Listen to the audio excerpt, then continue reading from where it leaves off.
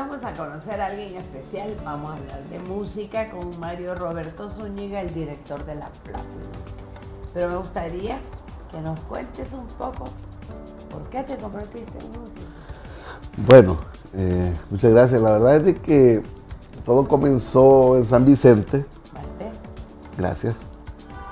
Pues mi papá me dio los primeros conocimientos. eh, somos 10 hermanos en mi familia y todos, la mayoría nos dedicamos a la música. Vicentino. Así es. Y, Después te va a decir algo. ajá.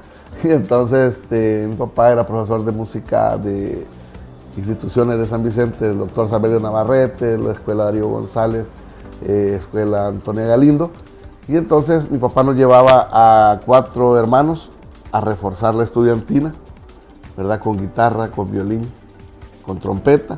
Y él les enseñó Mi papá, sí, mi papá les daba clase a los alumnos y en la casa a nosotros de violín. de violín, de guitarra, una hermana mía cantaba, otro hermano tocaba percusión y nos llevaba de refuerzo a la estudiantina pues para... Y a todos les gustaba. Sí, entonces este, así fueron los primeros conocimientos, Familia musical. así es. Eh, entonces después eh, a, a la edad de 9, 10 años eh, comencé también a incursionar en, los instrumentos de viento, trompeta, trombón, saxofón, porque comencé con cuerda, con contrabajo, guitarra, violín. Y pues a los 16 años, 15 años, pues me vine a San Salvador a estudiar el bachillerato en arte, el cual pues ya desapareció, ahora pues solo es el CENAR donde dan clases de música. En aquel tiempo no, se estudiaba bachillerato en la mañana y música en la tarde. ¿Y qué piensas de eso? No, este, la verdad es que yo fui de los que hicimos la luchita ahí de que no desapareciera el CENAR, pero lamentablemente no pudimos. Eh, bueno, pero lo bueno es que siempre existe el CENAR como con pura música, ¿verdad? Por lo menos. Increíble que vaya Pero sí lo que es el bachillerato desapareció y parte de eso pues creo que afectó mucho porque nosotros salíamos como profesores de, de música y pues creo que de alguna manera los jóvenes, los jovencitos estaban entretenidos en, en- en música, ¿verdad? como en deporte también, como en las eh, artes de estética que habían antes. Lamentablemente pues parte de eso ha desaparecido, aunque creo que están retomándolo, sería Claro, bueno. hoy hay, hay nuevas Ojalá. ¿verdad? cabezas dirigiendo decisiones. ¿verdad? Y, y la cultura en un pueblo es elemental, Sí. es importantísima. Tener el acceso a toda esa parte cultural. ¿verdad? Claro. Y, el- y después te fuiste a una orquesta, hiciste tu propia orquesta. Fíjese que mi papá siempre, como él era profesor de música, y el estar en una... Él ya no vive. ¿Cómo no? Mi papá está vivo en San Vicente, gracias a Dios, y él dirigiendo estas estudiantinas se le vino la idea de formar la agrupación familiar, y se llamó, para los que se acuerdan, en San Vicente, Combo Marito Zúñiga. Mi papá le puso pues mi nombre a, a un- a una agrupación pequeña que le llamamos Combo Musical. Eh, con el correr del tiempo se nos ocurrió hacer el combo más grande y se hizo la orquesta Hermano Zúñiga. Pero lamentablemente había una Zúñiga que ya existía en este país desde hace de los años 40, 45. Y entonces nosotros nos confundían con esa orquesta de Oriente, de allá de la Unión específicamente. Con- Y entonces tuvimos que cambiarle nombre a la orquesta que muchos conocen en la actualidad, que se llama Orquesta Canela, la Ah, cual sí. pues es de mi padre, pues de la familia. Eso es en lo personal, ¿verdad? Y que tú no participas. Como no, yo ¿Te da este, siempre comenzó el como Manito Zúñiga, después la Orquesta Hermano Zúñiga, después le cambiamos a Orquesta Canela, y en la cual pues hicimos grabaciones, giras a Canadá y a los Estados Unidos, y siempre pues estuvieron pues a- al frente mío, ¿verdad? Eh, ahora pues... director. En la- sí, sí, siempre, fui- siempre fui director de la agrupación de la familia, pero siempre participé en otras orquestas aquí en San Salvador. Yo emigré de, de- de San Vicente de San Salvador a estudiar mi bachillerato en arte y al mismo tiempo participé en la orquesta Festival Sheraton de aquella época, eh, para hacer en el 85-86. En el 86 se me presentó la oportunidad de ir a Santiago de Chile con aquel festival famoso que había de la OTI, Ah, de la OTI, que ganó, sí, yo fui a la, ¿Representaste? a la edad de 21 años. Solo eso ya es una Sí. gran cosa. pues es parte pues, de mi currículum, ¿verdad? Este, como director y arreglista. Eh, la canción que ganó en aquella época fue la de Pensar dos veces Martín de Jaime Turis y la autoría de Daniel Rux. Y ganó aquí. ganó aquí y fuimos a, a representar a El Salvador en Santiago Con de Chile. de. Sí, de él era la canción. De hecho, él fue con nosotros también. Creo que ha sido una de las delegaciones dignas, porque nunca en El Salvador había ido con una delegación de cinco personas.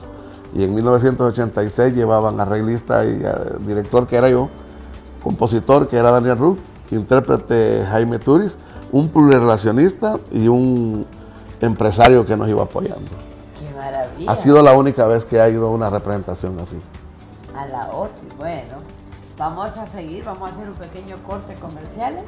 No nos cambien, después seguimos.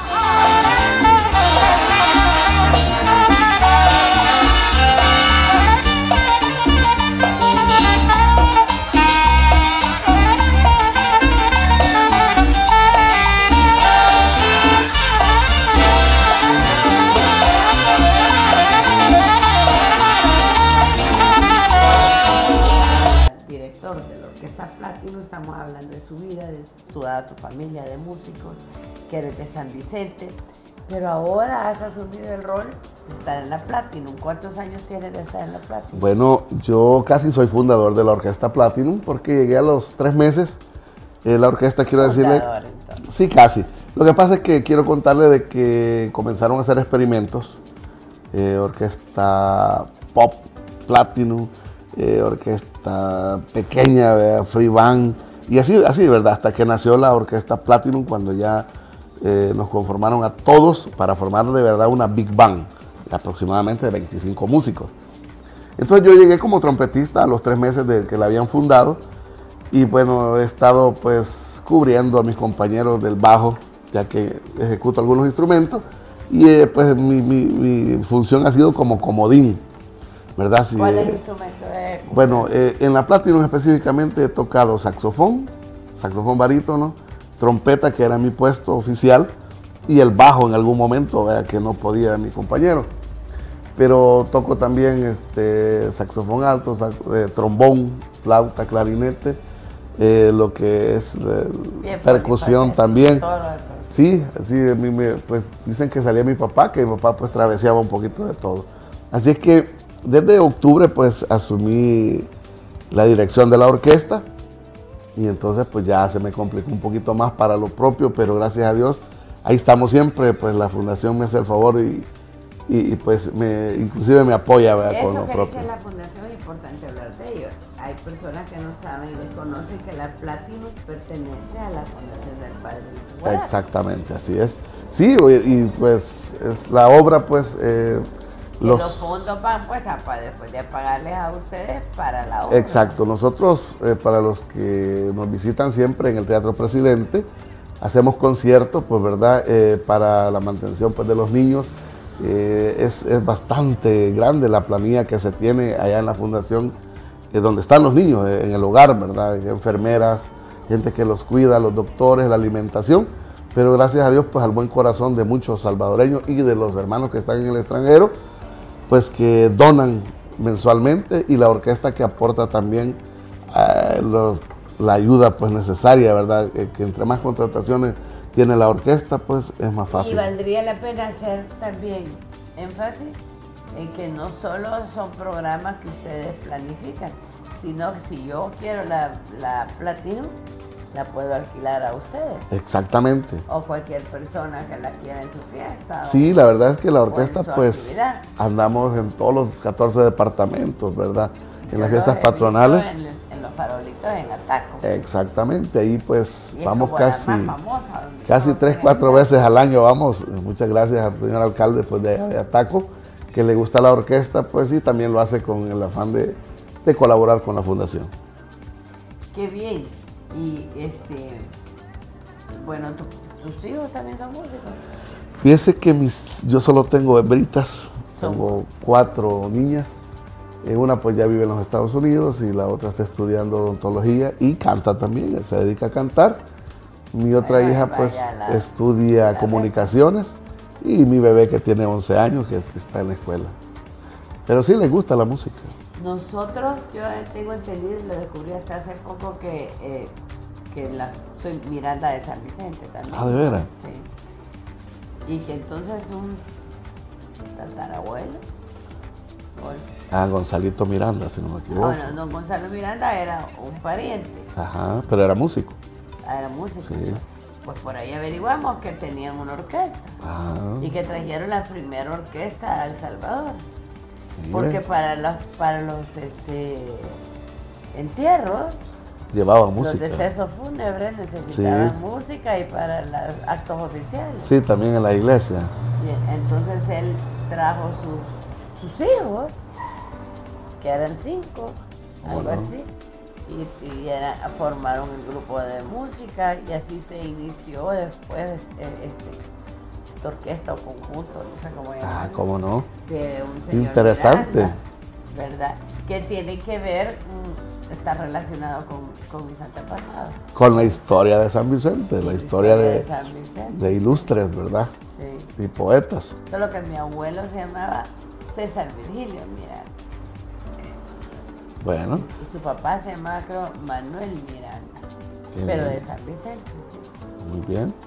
Bueno, pues eh, San Vicente tiene la fama de ser la cuna de músicos y pues yo me siento muy orgulloso de ser de San Vicente. Sí, de ahí nació en el país la música, ¿verdad? Para poder después Bueno, se utilizó en actos oficiales y todo el país. sí, Fue un gran gusto tenerlo y qué bueno que esté además al mismo tiempo trabajando en la Platinum que tiene doble sentido. Es lo máximo, la Platinum, la música es excelente, ustedes todo lo hacen súper bien.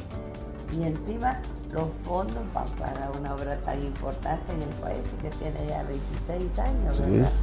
De existir, que es la obra del padre Víctor Guarato, que es una obra que no cualquiera pudiera tener, ¿verdad? Sí, Trabajar con niños discapacitados de esa forma totalmente y abandonados. y abandonados, ¿verdad? Es bien necesario apoyarlos y disfrutar.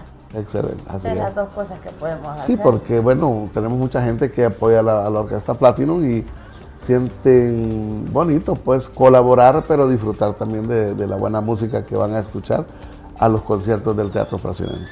Bueno, pues enhorabuena, suerte Roberto y muchas gracias por estar con nosotros. A usted, Olga, este, para mí ha sido un placer. Yo no tenía el gusto de conocerla en persona. Eh, como le comentaba tras de cámara, yo pues siempre tenía la curiosidad de, de saludarla y pues y muchas gracias porque se me ha dado la oportunidad. Muchas gracias.